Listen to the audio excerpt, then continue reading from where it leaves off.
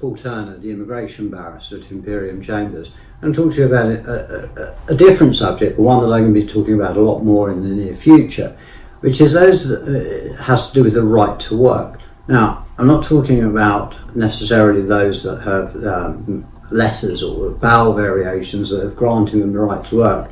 I'm talking about individuals that actually enjoy Section 3C leave and are permitted to work in the United Kingdom. Now, there's an organisation called Right to Work uh, Limited. They do fantastic work in, in, seeking to bring this issue to light. Though at the moment, this is an issue that, that, that is bubbling away, as it were, under the surface um, and doesn't seem to have attracted the same attention as the TOEIC issues or indeed the Balajigari litigation, but probably affects quite a number of people.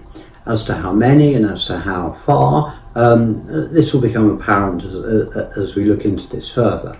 Um, the short point is that the number of employers, um, obviously cautious about employing people illegally because of the potential penalties and what have you, have been dismissing people on Section 3C leave. And disturbingly, um, the Employment Tribunal, which would appear to have limited knowledge of immigration law, or perhaps the representatives don't uh, understand the interplay between Section 3C of the 1971 Act and uh, the right to work, live in the United Kingdom, uh, have been dismissing appeals, saying that it's, enti- it's okay it's not unfair to dismiss somebody who's on Section 3C leave essentially on the basis of their immigration status. Now, in my view, and in law, that is wrong. The reason and the whole purpose of Section 3C is to enable those that have made applications prior to the expiry of the visa and due to the sloth of the uh, sloth of the Home Office to continue to enjoy leave as they did before, enjoying all the rights they did before, until the application is decided and any appeal, if there is an appeal, is concluded.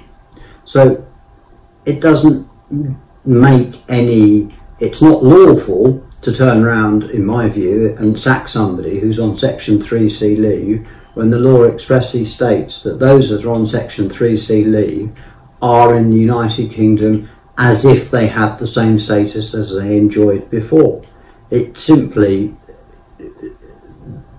bemused me and horrified me that employers were, were so scared, given the government's attitude and given the government's hostility, that they're actually dismissing people that are perfectly entitled to work in the United Kingdom.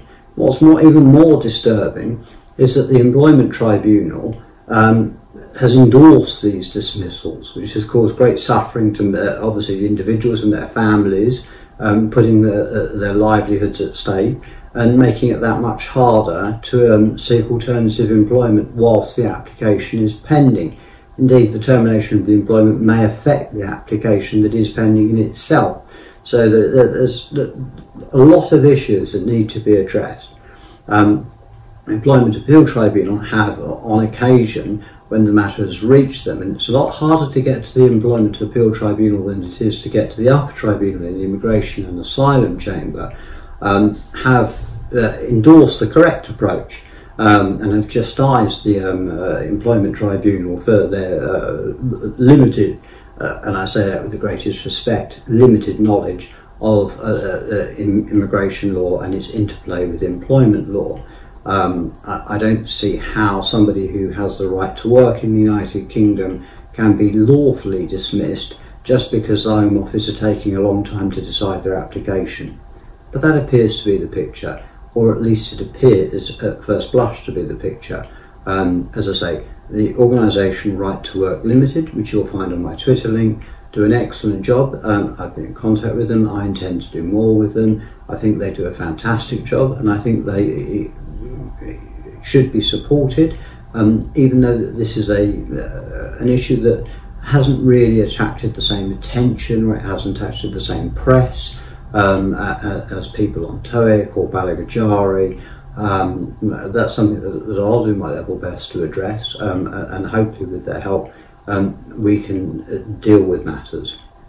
Um, on a more uh, basic level, um, have a grasp of the relevant issues. And if you have an immigration problem or a member of your family has an immigration problem, please do not hesitate to contact me, Paul Turner, the immigration barrister, at uh, or, or on to 0207 242 3488 or at clerks at imperiumchambers.uk um, or on my site, the immigration barrister.